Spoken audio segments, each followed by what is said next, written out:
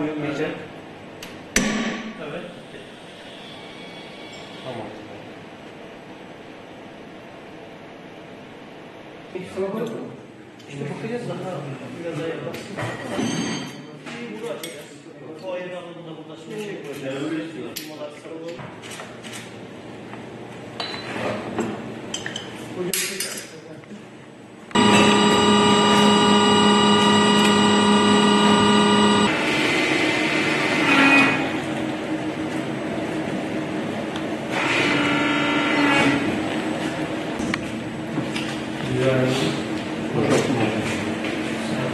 Hiç sıkıntı yok. Hiç sıkıntı yok.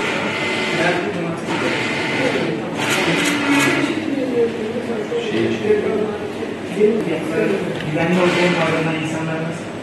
Yavuz hocam ben bunları yapacağım. Aşağı aşağı. Şey. Yok, e, karot değil de abi çekme, yorulma, basma, eğilme. Ee, Yasin, şimdi hocam... Yok yok o önemli değil. Ben anladım. Ben sadece görüntünün mesela kırılma gör, şey yaptırmak yeter olur. Uyumayacak. Evet üzerinde çalışıyoruz. depreme dayanıklı yapı üretme noktasında yeterli bilince sahip olmadığımızı yaşanan depremlerde ortaya çıkan yıkımlarla görmekteyiz. 6 Şubat 2023 tarihinde yaşanan ve 50 bine yakın vatandaşımızı kaybettiğimiz bu acı depremin e, sonrasında tabii ki gündemimiz deprem. Bu anlamda insanlarımız da şu an için mevcutta oturmakta oldukları binaların depreme dayanıklı olup olmadıklarını nasıl öğreneceklerini merak ediyorlar. Bunun en iyi yolu bir performans analizi yapmaktır. Bu kapsamda mevcut yapının durumunu, gerek taşıyıcı sistemin durumunu, gerek taşıyıcı sistemdeki malzemenin durumunu tespit etmek için bir takım hasarlı veya hasarsız yöntemlerle numuneler alınarak e, taşıyıcı sistem planları, röleveleri çıkarılarak e, ön çalışmalar yapılması ve bu ön çalışmalar neticesinde binanın sayısal modelinin oluşturularak bir olası depremde nasıl davranış sergileyeceğini yönetmeliğin bize önerdiği sınırlar dahilinde analiz etmek ve sonuçlarını değerlendirmekten ibarettir. Donatı sıyırma işlemleriyle donatının mevcut durumunu tespit ediyoruz. Donatıdan numune alıp çekme testini gerçekleştirerek donatının akma dayanımının ne seviyede olduğunu tespit ediyoruz.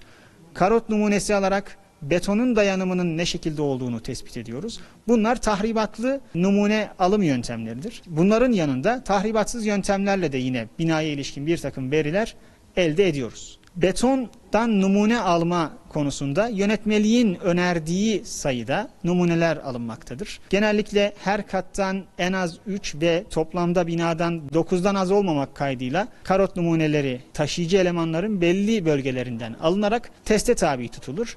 Burada taşıyıcı sistemin yani betonarmenin e, ne kadar dayanıma sahip olduğu tespit edilmeye çalışılır.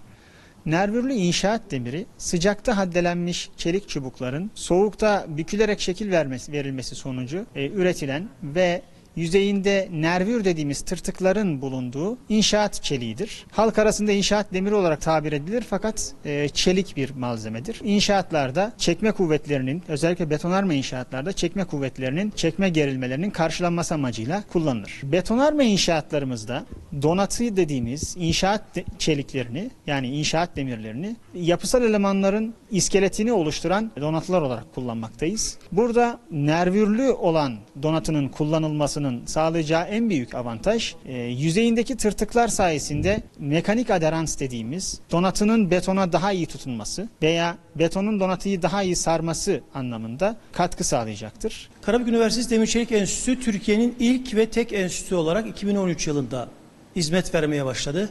Ve o günden beri TÜRKAK tarafından akredilmiş bir kurum olarak e, Karabük bölgesine hem Türkiye'nin farklı bölgelerine hizmet vermeye devam etmekte. Demir Çelik Enstitüsü'nde yapmış olduğumuz testlerin, testler için vermiş olduğumuz raporlar e, tüm dünyada geçerliğe sahip olan raporlar. Demir Çelik Enstitüsü'nün bulunduğu konum itibariyle bakacak olursak Türkiye'nin ilk entegre tesisi Karabük'te ve aynı zamanda etrafına baktığımızda onlarca haddane var, çelikle uğraşan e, fabrika var. E, dolayısıyla bunların hemen hemen tamamına yakınında inşaat çeliği üretimi yapılmakta. E, tabii bu üretilen inşaat çeliklerinin de bazı standartları karşılaması gerekiyor. Biz e, Demirçelik Enstitüsü olarak üretilen bu inşaat çeliklerinin bu testlerini yani gerekli olan onların kabul ve yeterlilik testlerini enstitümüzde yapabiliyoruz. Önemli bir kısmını bu laboratuvarda mesela gerçekleştiriyoruz. İnşaatlarda kullanılan bir inşaat çeliğinin mesela ne tür testlere ihtiyacı var? İşte kimyasal kompozisyonu standartlara uygun mudur? Bunun bilinmesi lazım. Onu biz burada akredite olarak gerçekleştirebiliyoruz. Üretilen çeliğin üzerindeki nervil geometrisi o standarda uygun mudur değil midir? Bizim onu ölçme ve değerlendirme imkanına sahibiz. Ona yapabiliyoruz. Aynı zamanda biraz önce testini gördünüz burada. Yani nervürlü inşaat çeliğinin çekme, akma, yüzde uzama değerlerini yine e, de test edip çıkan sonuçların standartla ne kadar uyumlu değil veya standarda karşılıp karşılamadıklarını belirleme imkanımız var. Yine bakın bu tarafta gördüğünüz bir test cihazımız var. Bu da yorulma test cihazı. Yani nervürlü inşaat çelikleri de- değişken gerilmelere maruz kaldıklarında ömürleri nedir? Ne kadar dayanabilirler? E, onu yine akredite olarak bu e, şeyimizde, bu laboratuvarımızda, bu test cihazımızda gerçekleştirme imkanına sahibiz. Tabii bunun yanı sıra daha evvel bizim gündemimizde yoktu. Daha evvel yapmamıştık ama maalesef 6 Şubat'ta ülkemizin yaşamış olduğu bu büyük deprem felaketinden sonra özellikle diğer şehirlerde ki yani hem deprem bölgesinde hem de diğer şekil şehirlerde kolonlarda, kirişlerde betonun dayanımını ölçmek önemli hale geldi. Hepimiz biliyoruz, televizyonlardan takip ediyoruz. Karot testi diye bir test var. Biz de işte arkadaşlarımızla beraber bu testi yapabilir miyiz diye bir çalışma içerisindeyiz. Bir ön deneme birkaç tane şey yaptık bununla ilgili test çalışmaları gerçekleştirdik ama tabii önemli olan standarda uygun bir şekilde bu deneyleri yapabilmek.